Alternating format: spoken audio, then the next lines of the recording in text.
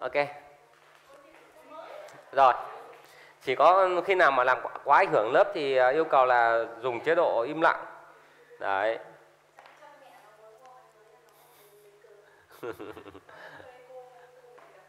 Ok, bây giờ chúng ta tập, bắt đầu tiếp tục lại nhá cu cộng với cái gì nào? Đâu? Cu cộng với gốc gì đấy? Nó ba trừ. Và kết hợp với cái gì nhỉ? H cộng thế cái ờ, cái gốc ừ, s 4 nó có quan hệ gì không? Ờ, không hề. Gốc s 4 này, này cái h2 s4 mình cho vào đấy thì thực ra thì nó chỉ thành h cộng này. Cộng s 4 2 trừ này. Thì s 4 2 trừ này không hề có phản ứng gì cả. Là phản ứng của cái h cộng này này kết hợp với gốc này này nó ba trừ này thành cái gì đây? À, kết hợp với cái giả cái gì nữa? Cu này đấy, nó ba trừ này cộng h cộng này thành cái gì? Cu. 2 cộng cộng với NO cộng với HO cái này nhá đây là phương trình tổng quát tăng cộng E. Thế nhưng mà bây giờ E đấy mình viết cụ thể luôn thành cái gì? À, là cái cu đấy, các em hiểu không? Đấy. anh có hiểu chưa? Thế còn cái N3 trừ đâu mà ra là từ cái gốc này cu N3 tất cả hai lần nó phân ly thành cu 2 cộng cộng N3 trừ. Thế cái H cộng ở đâu mà ra? H cộng là từ cái phản ứng này phân ly ra. Đấy, thì ba ion này ba cái này kết hợp với nhau mình cân bằng một chút thôi cân bằng thì uh, thầy hướng dẫn cân bằng đây là không này. Đây là dương 2 thì mấy ai cho đổi? 2 đây là từ dương 5 này. Về dương 2 mấy ai cho đổi? 3 2 3 mình chéo đi. Đây chắc là gì? Đây là 3 đây là gì? 2 lại nhá từ 0 thành 2 là 2 cho đổi. 2 cho đổi chỗ này này? Từ dương 5 về dương 2 là mấy cho đổi? 3 3 chéo đây. 2 chéo đây em hiểu chưa? Đó mình cân bằng tiếp. Ở đây là hai vậy thêm mấy ở đây? Hai. Sau đó thì bây giờ các em cân bằng theo. Theo cái gì cũng được. À, theo điện tích cũng được hoặc là theo oxy cũng được. À, tốt nhất là các em cân bằng theo oxy cho nó trực quan đúng không? Ở đây là mấy đây? Sáu đây mấy rồi? Hai vậy cần mấy ở đây mới đủ? Bốn. Đấy, 4 nhân 2 là mấy? Là 8 vậy thêm mấy vào đây? Là 8 đấy là cân bằng theo uh, oxy nhá thế còn cân bằng điện, điện tích cũng được em ạ. Cân bằng theo điện tích cũng được này. Ở đây là kem thấy cho thầy là mấy trừ đây? Mấy trừ? Hai trừ mà đây là mấy cộng? Hai cộng. Vậy thì kem phải làm thế nào?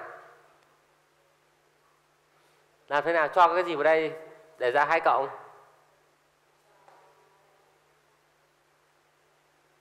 Ở đây thầy xin nói cái này là đây là ba thêm ba ở đây nữa cơ thiếu ấy. Đây ba đồng thì ba đồng. Ở đây là 3 nhân 2 là mấy cộng đấy 6 cộng mà đây là hai trừ vậy phải mấy mấy h cộng mới ra 6 cộng. À, 8 các em hiểu cân bằng theo oxy cân bằng theo tích chưa? À, cân bằng theo oxy cũng được và cân bằng theo tích cũng được. Rồi. Thế đề bài nó nói là sau phản ứng chúng ta chỉ thu được cái gì? Sau phản ứng chúng ta chỉ thu được gì? Một. Là chất tan duy nhất. Thế vậy thì chất tan duy nhất đây là cái gì? Các biết không? Chất tan duy nhất đây là gì?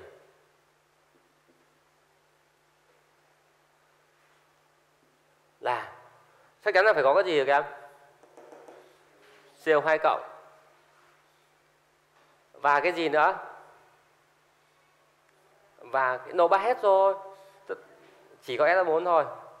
Thế tan thứ nhất là CO2 cộng và SO4 2 trừ vậy ta kết hợp lại là gì nhỉ? CO SO4. Đấy, sao phản ứng chất tan duy nhất chính là CO4. Vậy thì chúng ta phải có quan hệ như thế nào? Các em cho thầy biết là số mol của SO4 2 trừ là bao nhiêu? Bằng số mol của H4 bắt đầu thôi. 0,7 0,35 nhân với lại 2 đúng không? 0,7. Vậy S4 2 trừ cũng là gì nhỉ? Cũng 0,7. Vậy thì số mol của Cu SO4 sau phản ứng cũng là gì? 0,7. Đấy. Rồi. Thế mà tổng tổng cái Cu ở đây là bao nhiêu các biết không? Ở đây x ở đây là x thì cộng vào là gì? 2x. Vậy thì cái Cu ở đây sẽ là bao nhiêu? Cái Cu tổng ở đây này, cái Cu ở đây chính là Cu tổng ở đây. Ở đây ở đây ở đây ba thằng này, 1 2 3 cộng vào thì được CU ở đây là 0,7 này. Mà ở đây là x mới x rồi. Thì ở đây sẽ là cu đây sẽ là bao nhiêu? Ờ, à, 0,7 chính xác 0,7 trừ 2x vậy thì cái cái nổ 3 trừ ở đây sẽ là bao nhiêu? Nhân với 2 đúng không? 0,7 trừ 2x nhân với 2 à, cháu Trang với Hằng nào không chú ý vào đây à. Ờ. Trang với Hằng không không chú ý vào bài này à, à thế thầy đang giảng làm gì đấy? Trong đây. Thế có hiểu những gì thầy vừa nói không? Lại nhá. Người ta hỏi người ta bảo là chất tan duy nhất thì chắc chắn là có CO này và có S4 này. Thì mình ghép lại chất tan duy nhất chính là gì nhỉ? Là COS4 mà hai thằng này gắn với nhau thì mon của CO và mon S4 phải làm sao? Phải bằng nhau. Mà mon của S4 thì bằng mon của 24 ban đầu là 0,7 đây 0,7 vậy cái CU ở đây này cái co này chính là tổng của co ở đây ở đây ở đây cộng vào. Nó 0,7 mà ở phía trên mình đặt ở đây là x này. X này. Thì vậy thì chỗ này sẽ là 0,7 cho hết. Hiểu chưa? Ok vậy thì cái số mol của nó ba trừ ở đây sẽ là cái này nhân với mấy nhỉ? Nhân hai mà nó tổng thể bộ phận đấy mà. Vậy thì các đặt đây mol của nó ba trừ ban đầu bằng 0,7 trừ 2x nhân với 2 tức là bằng 1,4 trừ. Mấy x 4x đặt đây. 1,4 trừ 4x Đấy. Cái này sẽ là gì đây? 1,4 trừ 2x 1,4 trừ 2x Vậy từ đó k phải có một tỷ số gì các em? Cái này trên cái này bằng này trên cái này. Hoặc là cái số bằng CU đây là bao nhiêu đây? Ở đây là gì? X là đấy được. Hoặc là 3 trên cái này bằng 2 trên cái này bằng 8 trên cái này. Đấy, các em tìm được x thôi. Tìm được x thế là xong. Nào thử nhá. Các em lấy cái này trên cái này bằng cái này trên cái này mà thực ra thì để cho nó giải nhanh hơn thì các em lấy cái dưới trên cái trên bằng cái dưới trên cái trên thì tốt hơn x trên 3 bằng 1,4 trừ 4x trên 2 các em thử tìm x bao nhiêu? X bằng mấy? X bằng 0,3 các em thử nhá. À, lấy uh, cái này trên cái này bằng cái này trên cái này xem có tìm được x bằng 0,3 không?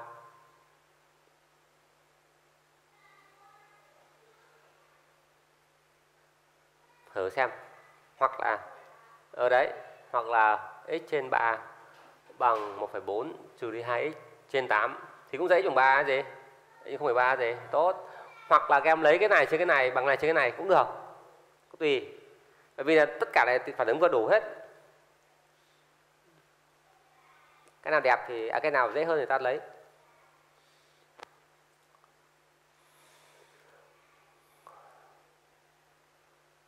Ok.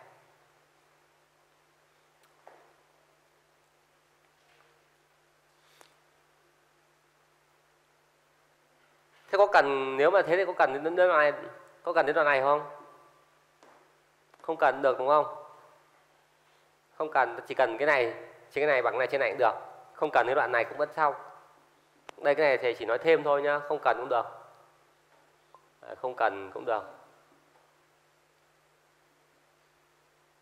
Đấy, nếu không cần thì không cần cái chỗ này thì lấy x trên 3 bằng 1, uh, ờ, đây 1,4 trừ 2x chia 8 này. Thì sẽ ra. 0,3. Vậy từ đó các em tính cho thầy kết quả cuối cùng nào.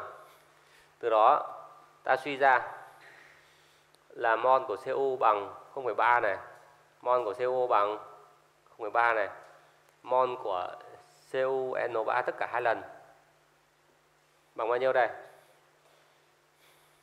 0,7 ở đây không cần cái này này không cần cái cái cái này thôi cái trên vẫn cần 0,7 trừ đi 2x trừ đi 2x là trừ đi 2 nhân 0,3 bằng 0, mấy 0,1 bây giờ em tính thành phần trăm khối lượng của CU trong cái hỗn hợp này.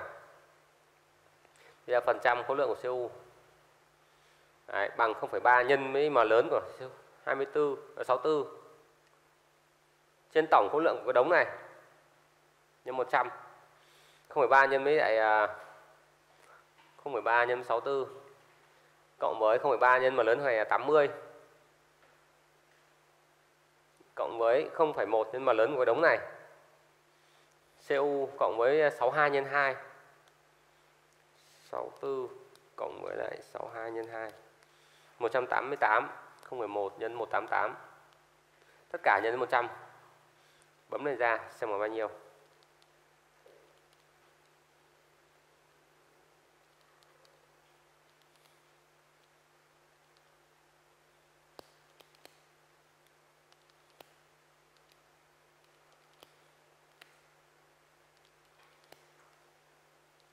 Bao nhiêu? À, 30,96 đây làm tròn đến 30,97 à, dạ, có đáp án đúng không? 30,97 à, dạ, đáp án B.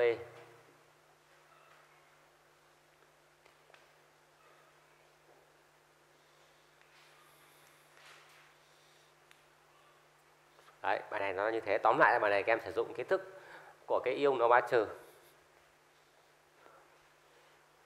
Nào Tùng nào. Đấy. ngủ được chắc đã được 10 phút rồi đấy. Tỉnh chưa? Tỉnh táo hơn chưa? Ừ, thôi rồi. À, cố gắng lên. À, thêm mấy phút nữa thì ngủ tiếp. Thế các em có hiểu không? Mày có khó không? Khó không? khó khó ở chỗ nào?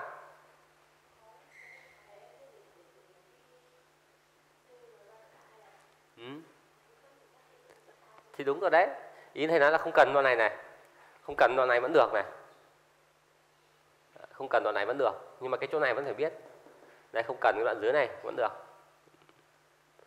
Đấy thế còn cái này vẫn phải cần. Bởi vì siêu S4 0,7 thì mình trừ đi ở đây trừ đi ở đây thì mới ra 0,7 trừ 2x đúng không? Mới ra cái này đúng không? Thế còn cái này không cần cũng được bởi vì mình có cái CU là x này cái h cộng ở đây sẽ là 1,4 trừ 2x từ trước rồi thì mình vẫn lập tỷ số x trên 3 so với 1,4 ờ, trừ 2x trên 8 thì sẽ ra vẫn là x thôi Rồi anh hiểu chưa? Cái này không cần được nhá. Em không thích em bỏ qua cái này được. Không cần thiết phải có bởi vì nó đã có sẵn hai thằng này rồi.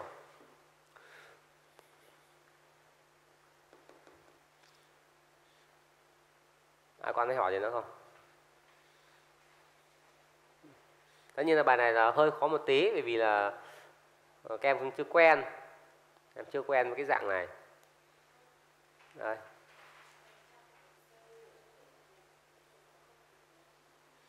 Phần trăm của CU ở trong hỗn hợp thì có phải khối lượng của CU trên khối lượng tổng không?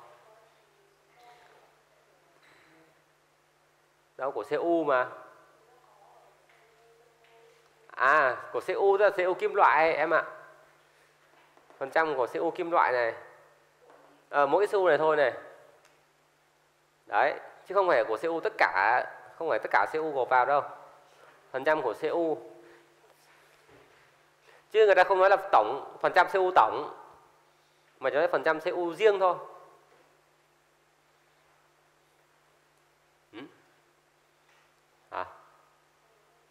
Ờ em nói đi. Ờ hai phương trình nào?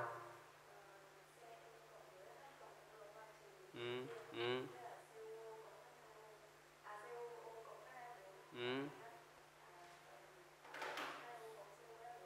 Ừ.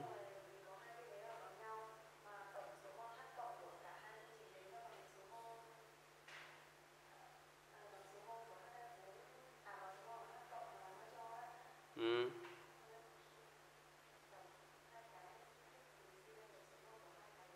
Ừ. Ừ. Tự... Ừ. Ờ, thực ra thì quách của em thì cũng có gì khác của thầy đâu. Đấy, nó không có gì khác cả đúng không? Nó chỉ là cách nói khác thôi chứ còn nó không hề khác. Đây nhá em ờ, đặt thằng này là x đúng không? Thằng này cũng là x. Thì uh, em suy ra là cái này nhân chéo này chia thẳng này. Thì ra h cộng ở đây đúng không? Xong em nhân chéo chia thẳng ra h cộng đây. Thế từ đó em lấy hai này cộng vào thì bằng mol h4 gì ấy, đấy thì có thì nó cũng thế. Thì cũng giống như của thầy là em trừ đi thì cũng thế thôi. Đấy, bản chất đó là một. Đấy, nó cũng không ngắn hơn. Đấy, không ngắn hơn bởi vì thầy trình bày dài chẳng qua là thầy giảng các em hiểu thôi. Cũng thế đúng không? Bây giờ nếu không nhá em đặt đây là x này. Em nhân đây là 2x đúng không? Em đặt đây là ờ, x này em nhân với lại x nhân với ờ, 8 chia 3 này có phải là 8 x trên 3 không? Xong em lấy cái khi 2x này em cộng với lại 80 trên 3 này thì bằng không h 4 nhân 2 gì?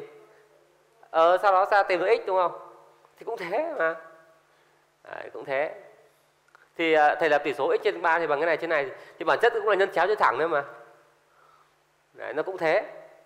Nó không phải là cách khác. Nó chỉ là cách mình viết khác đi thôi.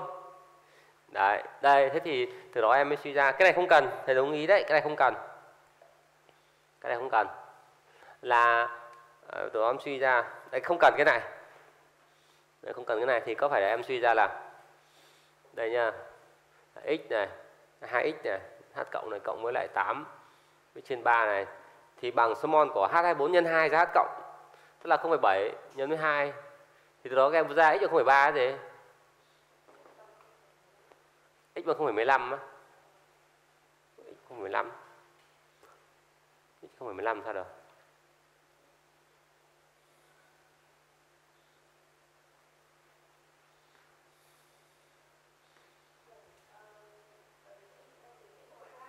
Ờ x 0,3 gì nữa. Đúng không? X 0,3 với 0,15 thì sai mất. Đấy chẳng qua là em ờ, chưa chính xác thôi. Đấy nó cũng thế thôi mà. Đúng không? Là thôi em đã hiểu là cách của em cũng không phải là cách khác mà chỉ là cách viết khác thôi. À, chứ còn bản chất nó vẫn là hai phương trình này. À, thế thôi nhá. Chốt ở đấy. Cách nào viết cách viết nào thì nó cũng là cùng bản chất thôi.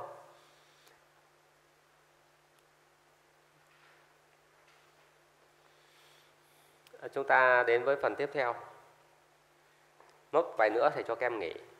Bài 34 cái đề đầu ấy, thầy cứ chữa full hết để các em biết xem là cái mức có độ thế nào. Thế hả?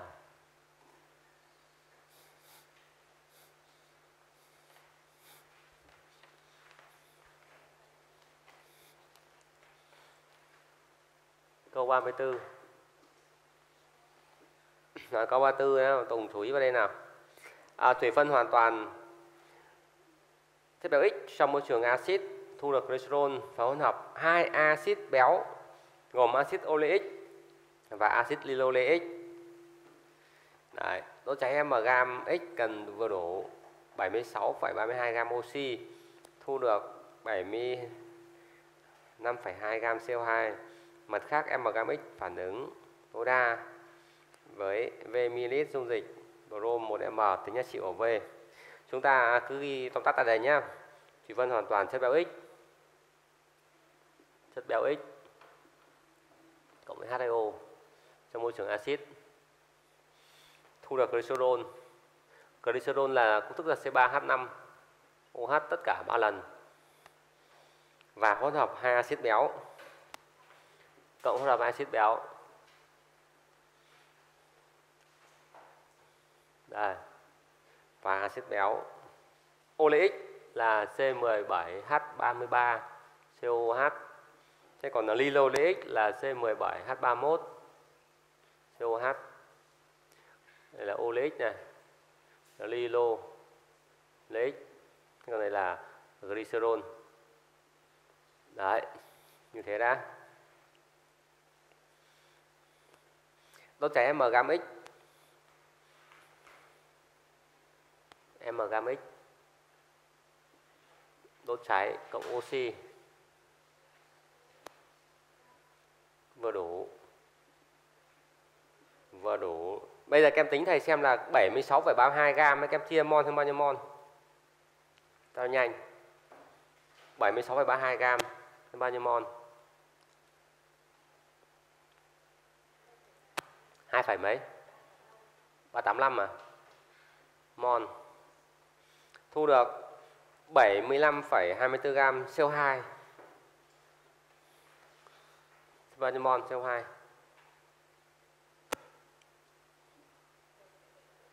1,71 mol CO2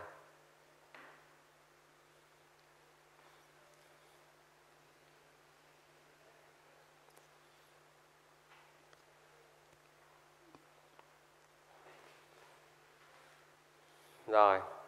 Mặt khác, m gam x tác dụng tối đa. m gam x cộng với lại tối đa. Tối đa à, V ml prom 1m. Đấy, tính V.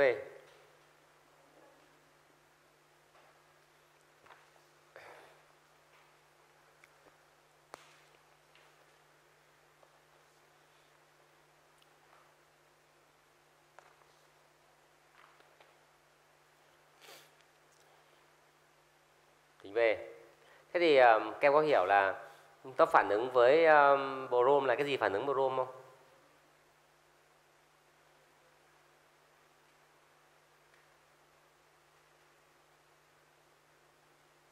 Thế biết cái gì phản ứng brom không? Chất béo vậy mà phản ứng brom là cái gì là phản ứng brom?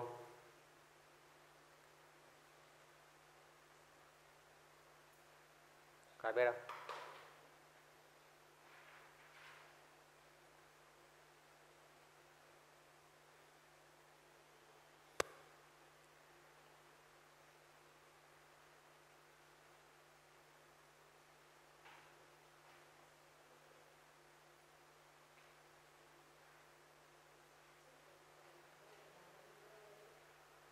Cái gì phản ứng boron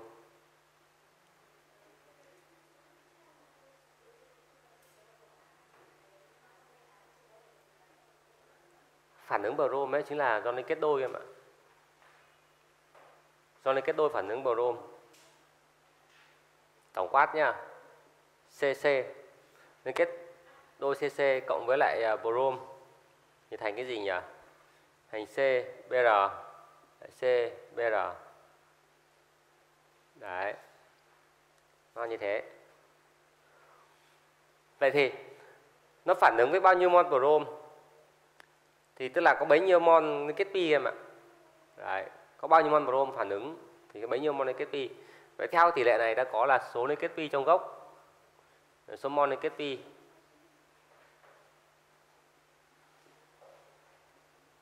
Pi trong gốc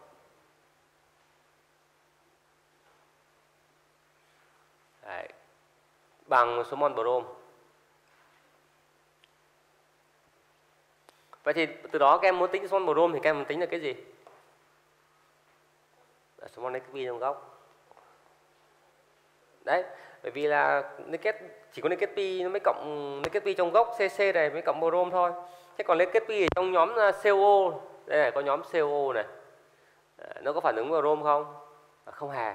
Nhóm cái nhóm CO này hay là nhóm SE đấy nhóm à, COO ấy nó không phản ứng với brom em nhé chỉ có cái liên kết pi ở trong gốc này thôi mới phản ứng. Vậy thì từ đó các em tính được muốn, muốn tính được V này tính được mon phải tính được mon brom. Mà muốn tính mon brom thì cần phải tính được cái gì của nó? Tính được cái gì đây? Đúng rồi số liên kết pi trong gốc. Đây các em thấy không? Phản ứng ở đây brom gắn ở đây. Brom gắn đây. Liên kết pi đứt ra. Vậy thì có nghĩa là có bao nhiêu kết pi thì bấy nhiêu mol brom mà. Đấy. Vậy thì từ đây các em mới suy ra là chúng ta phải đi tính cái gì? Số mol của liên kết pi ở trong ở trong gốc. Đấy. Số mol liên kết pi ở trong gốc.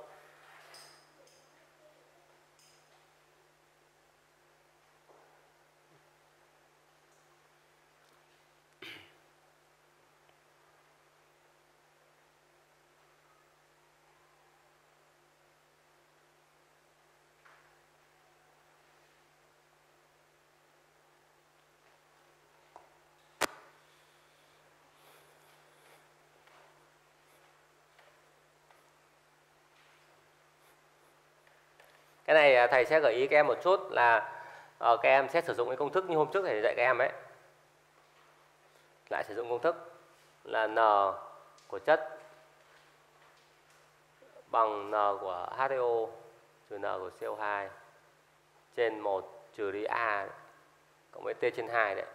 Mà cái T này không có. Cái T này bây giờ bằng 0. Đấy. Vậy từ đây ở các em phải tính được cái gì nhỉ? Tính được cái gì ở đây từ từ cái phương trình này các em tính được cái gì ra nhỉ? Từ cái A này, A này chính là tổng số liên kết pi. À, tổng số liên kết pi các em ạ. Mà tính được tổng số liên kết pi sao trừ liên kết pi trong nhóm CO thì ra pi ở trong gốc